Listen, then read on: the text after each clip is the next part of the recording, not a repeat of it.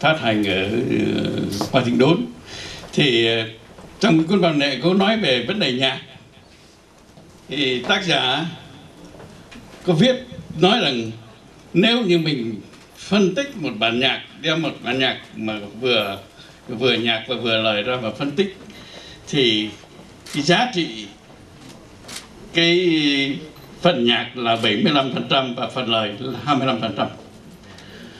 Nhưng mà theo ý kiến tôi thì tôi không nghĩ như vậy. Bởi vì ý, nhạc và lời nó phải cân xứng thì mới tạo ra thành một cái bản nhạc hay mà bản nhạc đề đời.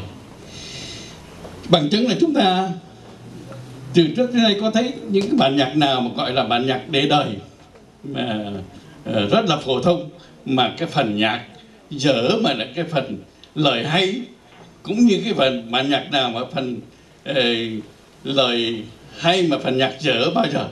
Thành ra cái chuyện đó thì tôi nghĩ rằng là tôi theo với ý kiến tôi là là cái phần nhạc và phần lời nó phải nếu mà muốn tạo ra một cái ừ, bản nhạc hay thì phải phần lời với phần nhạc nó phải cân xứng. Thưa quý vị và các bạn phong trào mà uh, sáng tác nhạc mới cũng như phổ thư hiện nay ở trong nước cũng như hải ngoại rất là nở rộ. Thì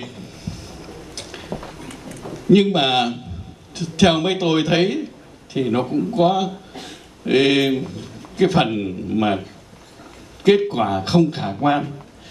Đại loại như là ở trong nước mà chúng tôi có có, có một phần là một, một vài lần về thông quê hương nghe những cái bài nhạc ý, mà lời lẽ mà các bạn tôi chắc là cái, cái, cái, các bạn trẻ mới viết bây giờ thì, thì có có nhiều cái lời nghe nó nó nó, nó là lạ lắm.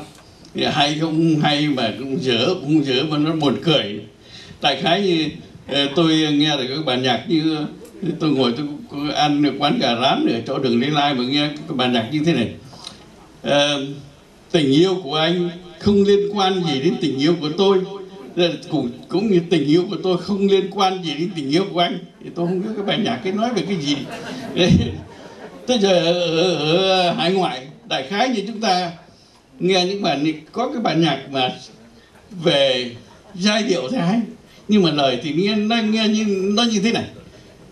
Ờ, nghe được ờ, ăn được bát cơm tươi nghe được tiếng chim cười tôi thì chưa thấy văn, văn chương Việt Nam chưa bao giờ thấy nói chim cười cả. Thế nhưng mà thôi cái, chuyện ở hải ngoại thì mình không có nói được bởi vì nói sự thật ra thì, thì các bạn trẻ về hải ngoại có khi nói tiếng Việt chưa rành chứ đừng nói chuyện đi văn chương chữ nghĩa Việt Nam nữa thì thôi cũng xí xóa.